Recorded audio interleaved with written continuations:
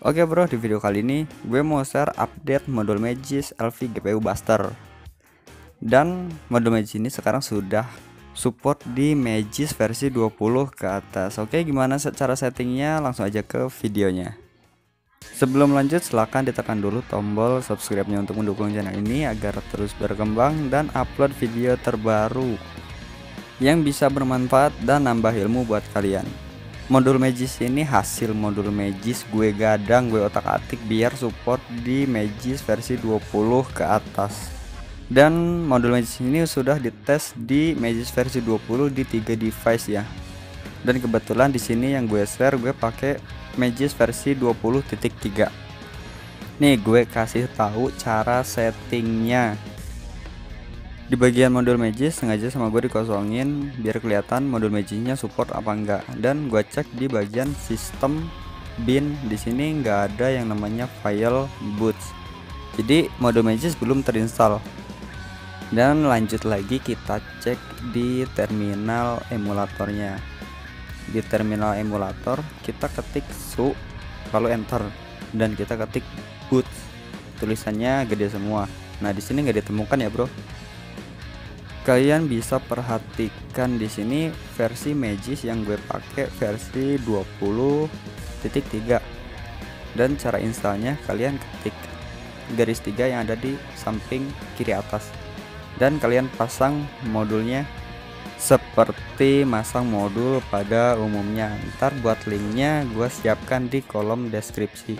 Dan ini enggak support buat Magis versi 19 ini khusus 20 ke atas Nah setelah modul Magis terinstall kalian gak bisa langsung pakai kalian gak bisa langsung setting.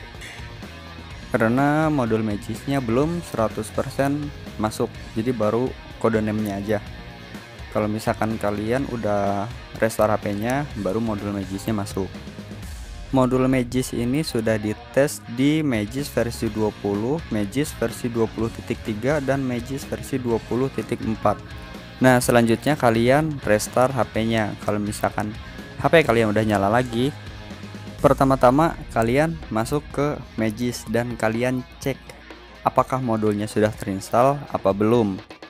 Soalnya kadang ada yang modul Magis sudah terinstall tapi filenya belum masuk. Nah di sini modul Magisnya sudah terinstall di Magis.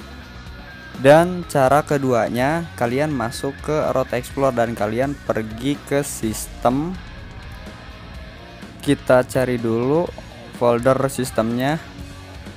Nah ini udah ketemu dan kalian pergi ke folder bin. Maaf ya bro sedikit berisik soalnya lagi rame juga. Semoga aja suara gue kedengeran jelas. Selanjutnya kalian cari file yang namanya boots.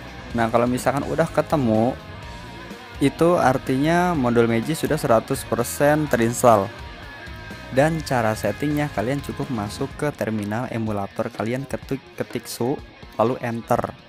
Nah selanjutnya kalian ketik boots huruf besar semua. Kemudian kalian enter.